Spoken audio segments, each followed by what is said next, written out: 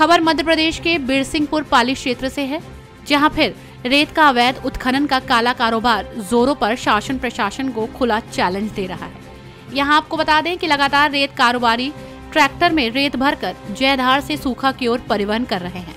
लेकिन उसी दौरान एक ट्रैक्टर को राजस्व विभाग और वन विभाग की संयुक्त टीम के नेतृत्व में तहसीलदार दिलीप सोनी ने जब्त कर पाली थाने के सुपुर्द कर दिया। जानकारी के अनुसार आपको बता दें कि ये ट्रैक्टर आम आदमी पार्टी पार्षद का बताया जा रहा है।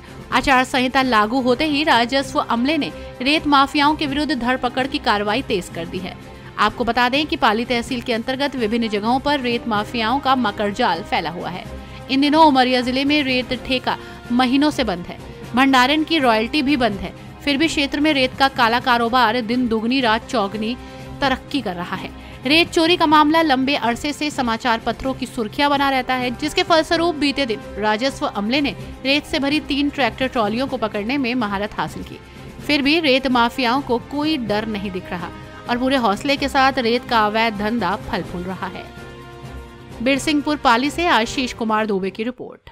है कि सुबह मुझे जानकारी मिली थी कि कुछ रेत के अवैध खनन होने वाले हैं। उसके संबंध में मैं क्या है कि अभी यहाँ से बरबसपुर की ओर गया था।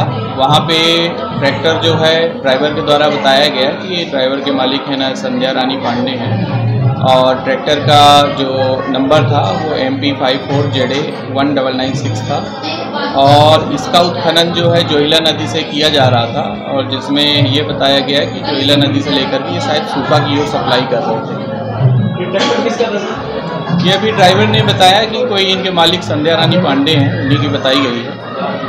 क्या कुछ कार्रवाई अभी इस पर क्या है कि प्रकरण बनवा करके और है ना इसे थाना पाली अंतर्गत सुपुर्द किया गया है ट्रैक्टर को और प्रकरण एसडीएम सर को प्रस्तावित कर दी गई है जो कि है ना उनके माध्यम से कलेक्टर साहब को प्रस्तावित हो रहा है।